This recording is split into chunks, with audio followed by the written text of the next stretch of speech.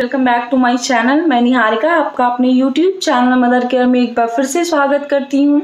जहाँ हम बात करते हैं मदर एंड चाइल्ड के हेल्थ रिलेटेड प्रॉब्लम के बारे में। तो आज का जो टॉपिक है, वो है top ten food who increase और boost your child brain during pregnancy दस, मैं आज दस ऐसे फ़ूड के बारे में बताऊँगी, जिसे प्रेगनेंसी के दौरान खाने से आपके चाइल्ड के ब्रेन को बूस्ट करने में अच्छे से डेवलप करने में मदद मिलती है तो आप इन फ़ूड को प्रेगनेंसी के दौरान अपने खाने में शामिल करें ताकि आपका बेबी एक हेल्दी और इंटेलिजेंट चाइल्ड हो। तो इस लिस्ट में जो फ़र्स्ट नंबर पे फ़ूड आता है, वो है फैटी फ़िश आप फैटी फ़िश का इस्तेमाल करें अपने खाने में। इसमें ओमेगा थ्री फैटी एसिड बहुत रिच अमाउंट में पाया जाता है, जो कि चाइल्ड के ब्रेन को बूस्ट करने में और अच्छे से डेवलप करने में बहुत ज़्यादा हेल्प करता है।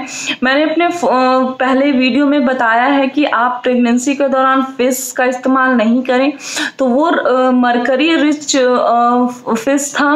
आप सैलमोन ले सकती हैं टूना ले सकती हैं, ये जो फ़िश है उसमें ओमेगा थ्री फैटी एसिड पाया जाता है तो इसे आप अपने खाने में शामिल कर सकती हैं, इससे कोई प्रॉब्लम नहीं होगा आपको।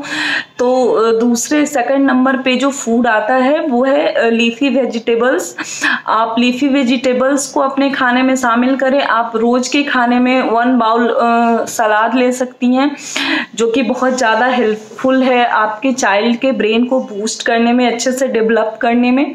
थर्ड नंबर पे जो फ़ूड है, वो है ब्लूबेरी आप ब्लूबेरी को इस्तेमाल कर सकती हैं अपने खाने में। ये भी एक अच्छा सोर्स माना जाता है चाइल्ड के ब्रेन को बूस्ट करने में।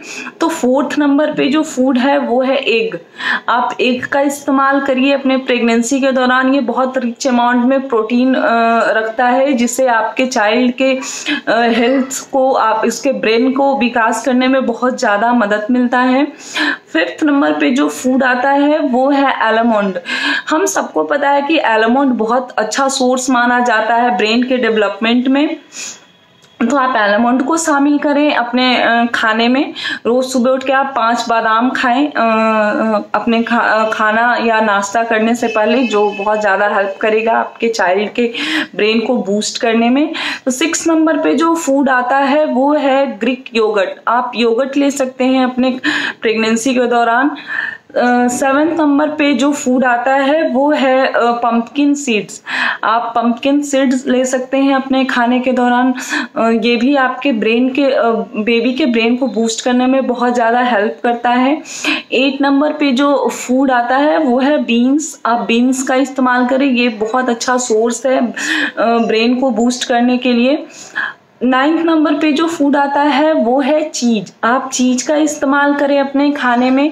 टेंथ एंड लास्ट जो है वो है मिल्क आप मिल्क का भरपूर इस्तेमाल करें अपने प्रेगनेंसी के दौरान ताकि आपके चाइल्ड के ब्रेन डेवलपमेंट में आ, आ, मदद मिले।